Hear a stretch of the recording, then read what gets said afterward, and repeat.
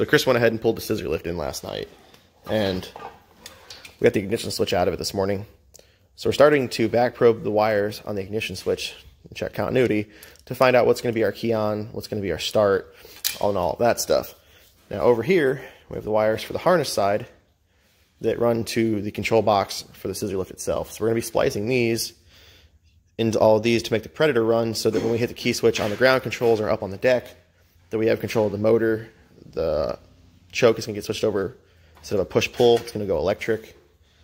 So all that stuff can be controlled by the chassis setup on this, not down here off the engine. It? Yep. Got juice, I heard it. And let's see. Can you choke it? Yeah.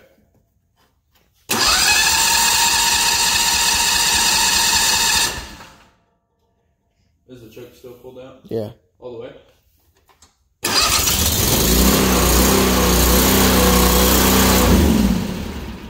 Shuts off and it starts up.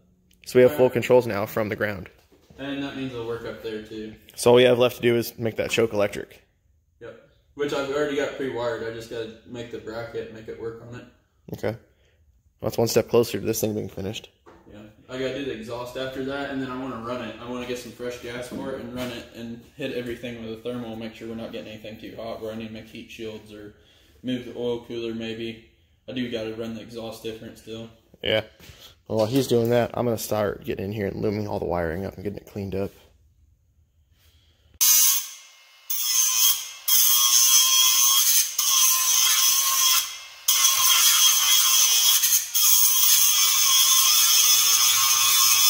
So we got the choke solenoid mounted there. Chris just modified up the old bracket and we mounted it to one of the fan shroud bolts. Uh, took the end of the cable with the handle, took it off, TIG welded a washer to the end of it so we have somewhere for that to pull against. It's routed in a way where it's going to be out of the way and okay. So now he's got some angle bracket to make a mount to hold the cable in place. That's going to be our next step. We've already tested it. It pulls. We don't have it hooked up yet, so we don't have the retract. The retract is being pulled against on the linkage side. But it works. Uh, the unit controls the choke now. Just got to get this mounted up and hook the other end up, and it should be ready to go. Next up, I'm going to probably hop in here while Chris is making that bracket, get the muffler off this so we can start looking at our options for rerouting this exhaust in a way where it's not just blowing straight out on the hydraulic lines. Because that's going to be a problem.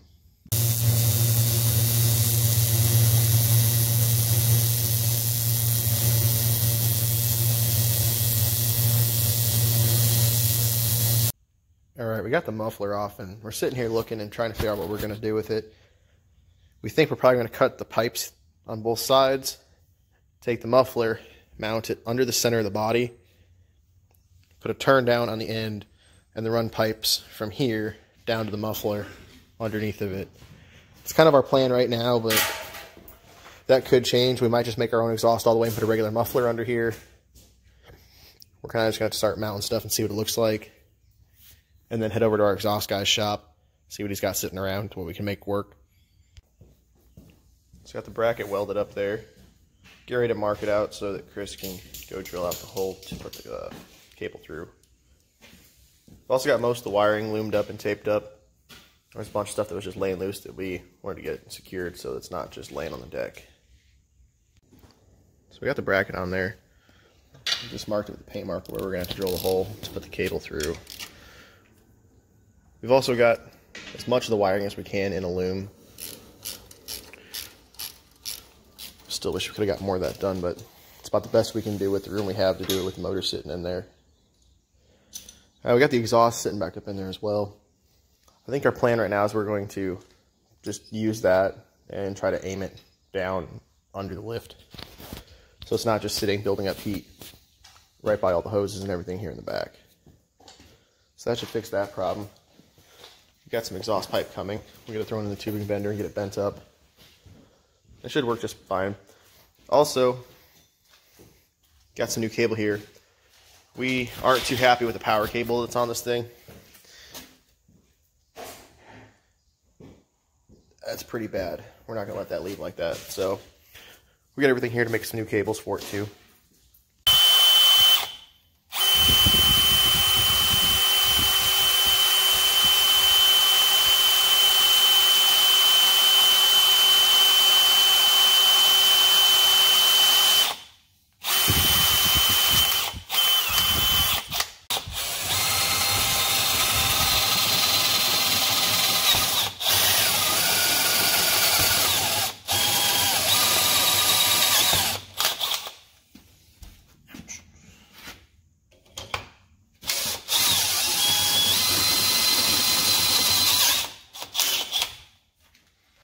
And now we have the cable hooked up and everything, the brackets on there. We just need to get a decent spring on the backside so that when this pulls down, it pulls itself back up. So we just tried a spring to be our return on the choke. This is a brake spring we had in parts.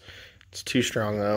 The solenoid won't overcome it because it'll pull. It pulls down, and then we need something that will, when we let go, retract the choke.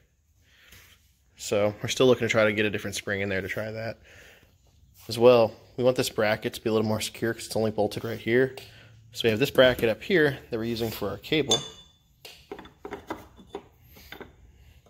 So this piece of angle is going to get welded in here. We're just going to tack it in place um, on the motor, then we'll take it off and finish weld it. So that'll stop this from being able to move at all and keep this in place as well. So we keep the right angle for the pull on the cable. And it doesn't have a whole lot of drag. I mean, it's not going to take much, but we just need a spring to be able to overcome that to return it.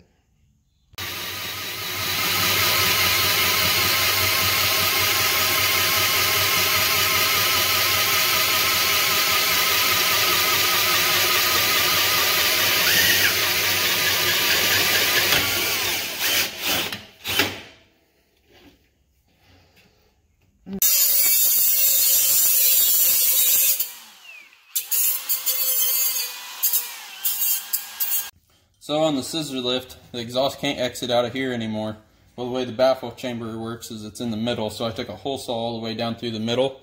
I'm going to cap the end off, and I've notched it here, so when it slides in, it'll seal up fairly tight around it. I can't weld it up, but the little bit of air escape won't be any different than some of the holes in the baffle pipe itself.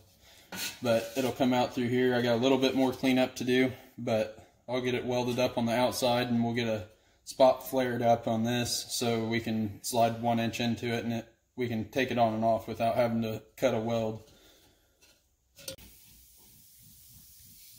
And that will cradle that and get welded up there. And I'll have a piece out the back where we can go off of then.